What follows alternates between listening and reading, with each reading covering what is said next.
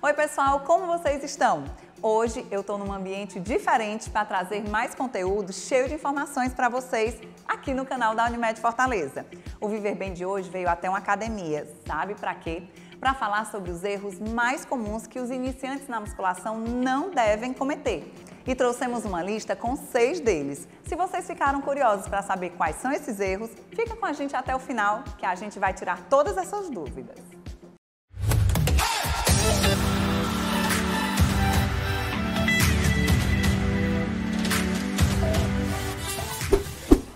Antes de falar sobre os erros que os iniciantes não podem cometer na academia, eu quero deixar claro que essa atividade traz inúmeros benefícios para o corpo e para a mente. Além de dar mais condicionamento físico e melhorar diversas funções no nosso corpo, como o sistema cardiovascular, a atividade física ainda libera diversos hormônios que promovem relaxamento, bem-estar e felicidade. Porém, quem inicia na musculação geralmente traz uma certa insegurança, que é comum no início de qualquer nova atividade, não é mesmo? Mas calma, é só uma questão de adaptação e consistência.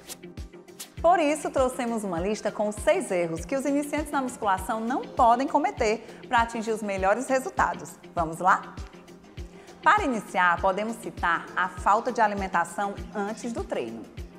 É importante investir na alimentação antes do treino para não passar mal. De preferência, ser acompanhado por um profissional da área de nutrição. Mas se você ainda não tem esse acompanhamento, priorize barras de cereais ou frutas antes de treinar.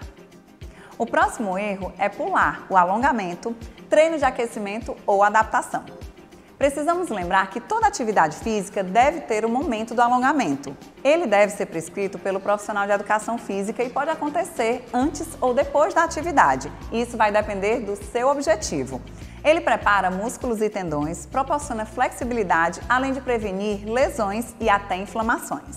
E aqui no canal nós temos um vídeo sobre alongamento na prática. Vou deixar o link aqui no card para vocês conferirem. Além da importância do alongamento, também temos que priorizar o treino de adaptação ou aquecimento. É nele que você vai realizar a atividade antes de começar o treino propriamente dito. Não pule, ok? E continuando a nossa lista, não podemos cometer o erro de treinar o mesmo grupo muscular em dias consecutivos. É possível trabalhar o corpo inteiro na musculação, mas para isso a prescrição deve ser adequada e você deve ter um objetivo que é traçado junto ao profissional de educação física que vai te acompanhar.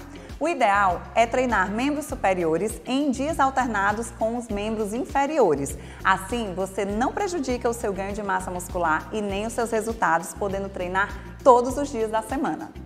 Outro erro que os iniciantes na musculação não devem cometer é priorizar a carga ao invés da amplitude. Quando realizamos a musculação, precisamos priorizar a amplitude. O excesso de carga pode prejudicar as articulações e atrapalhar a execução do movimento, e isso impede o ganho de massa muscular e pode provocar lesões.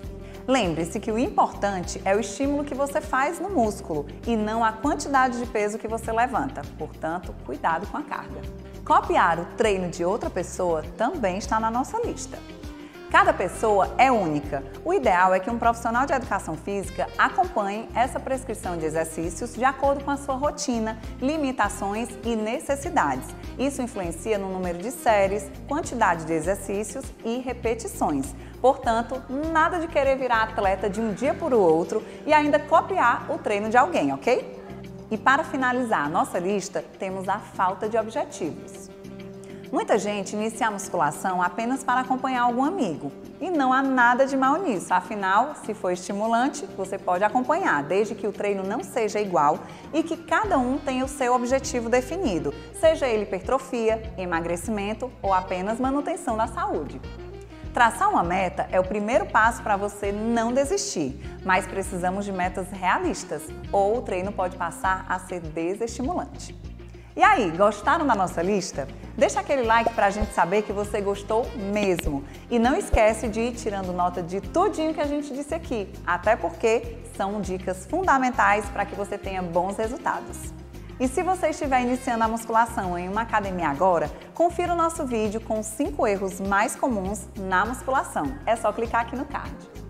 E eu vou ficando por aqui. Não esquece de se inscrever no canal e acionar o sininho para o YouTube te avisar quando chegar novo vídeo. Um beijo e até o próximo!